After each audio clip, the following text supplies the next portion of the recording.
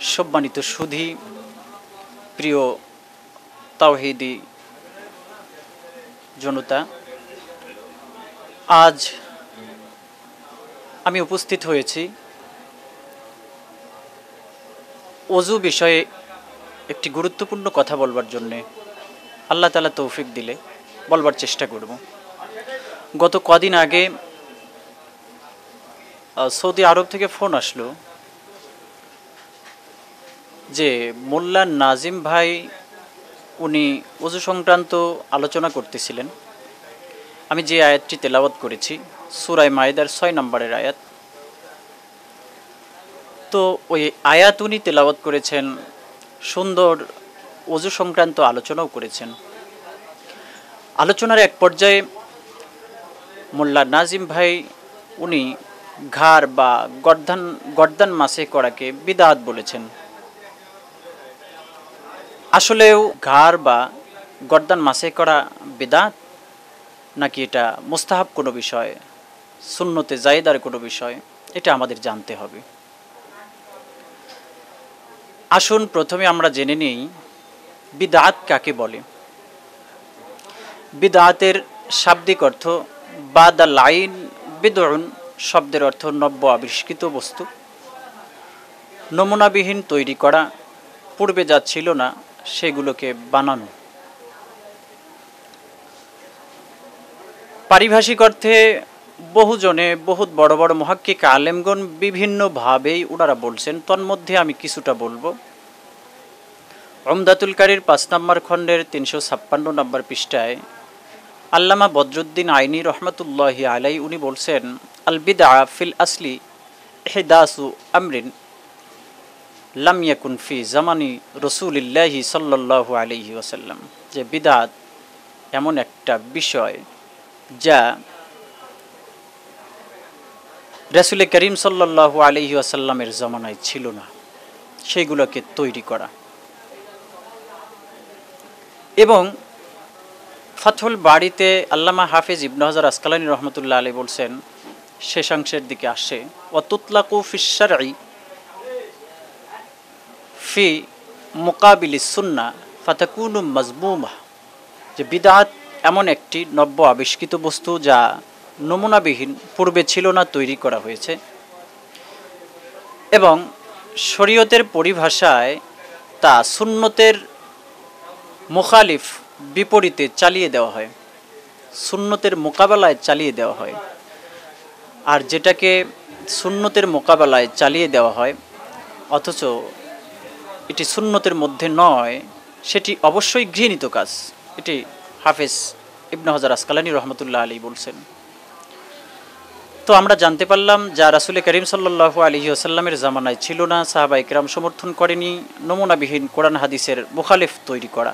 এটার নাম বিদাত এখন বিদাত সম্পর্কে এই শব্দটি কোরআনেও এভাবে প্রয়োগ হয়েছে বাদি ওয়াতি ওয়াল আউট নমুনাবিহীন আল্লাহ যেমন আসমান জমিনকে তৈরি করেছেন, বাস ওখান থেকেই বিদা রাসুল আরবি সাল্লাহ আলহি আসাল্লাম বলছেন, তিরমিজি শরীফের হাদিস, মান আহদাসা ফি আমরিনা হাদা, মা লাইসামিন হুফাহুয়ারদ্দুন যা আমাদের দিনের মধ্যে নেই, সেগুলো যদি দিন বলে চালিয়ে দেয়, সেটা অবশ্যই পরিত্যাজ্যর বিষয়।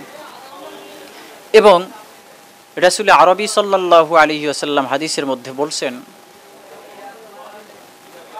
কুল্লু বিদাতিন দলালাহ অকুল্লু দলালাতিন ফিন্নার।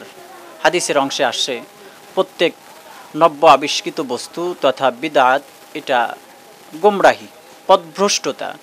আর প্রত্যেক গোমরাহি বা পদভ্রষ্টতার তোর ঠিকানা জাহান্নাম।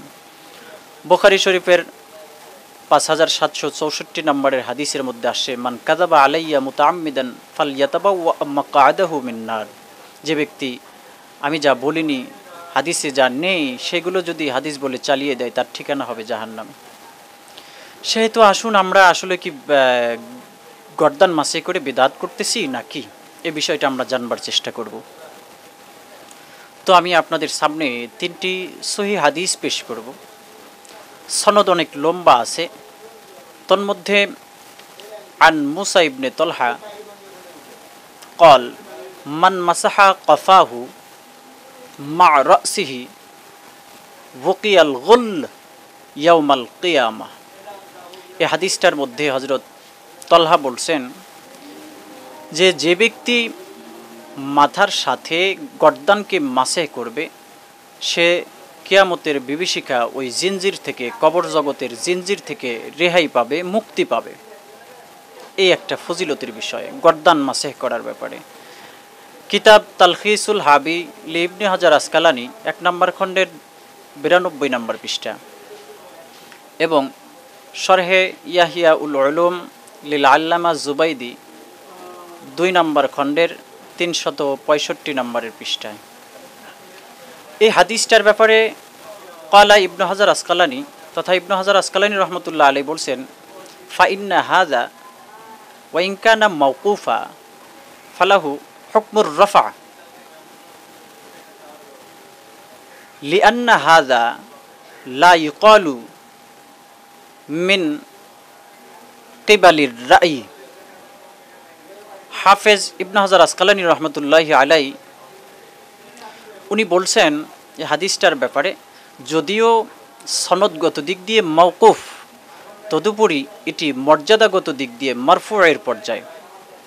কারণ এই হাদিসটার সমর্থনে মারফু সূত্রে হাদিস বর্ণিত আছে এবং এই হাদিসের মধ্যে কোনো সংশয়, সন্দেহ, দুর্বলতার কিছু নেই।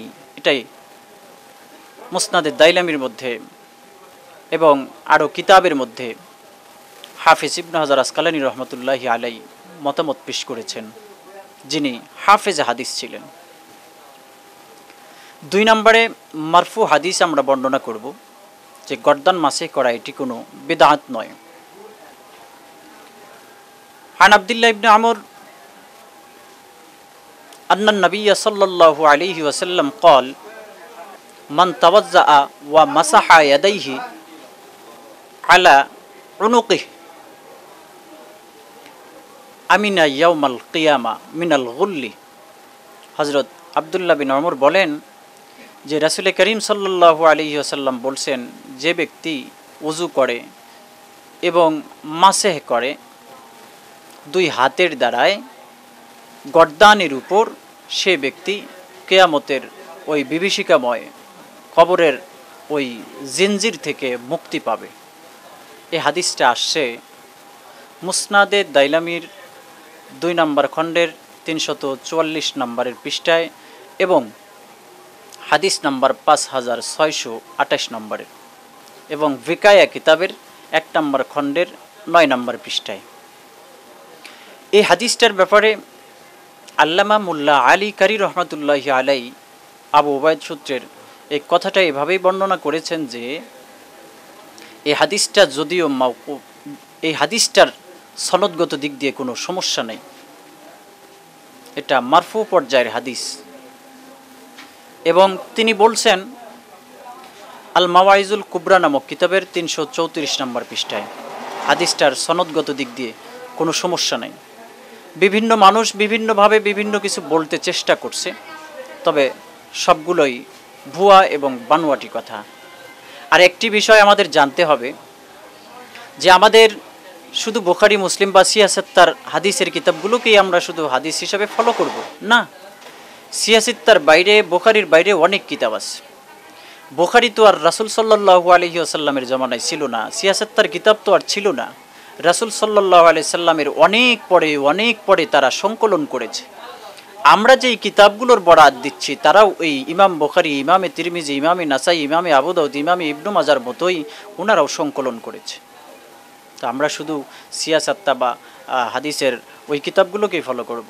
না, আরও যে হাদিস আরও যে হাদিসের কিতাব রয়েছে সেগুলোকেও আমরা অবশ্যই ফলো করব তিন নম্বর হাদিস হিসাবে আমি আপনাদের সামনে উপস্থাপনা করতেছি এটা আন তলহা ইবনে মুসারিফ আন আবিহি আন জাদ্দি قال رأيت النبي صلى الله عليه وسلم مسح مقدم رأسه মাসাহা মুকদ্দমার রসি। হাত্তা বালাগল কুদালা মুআখারুর রস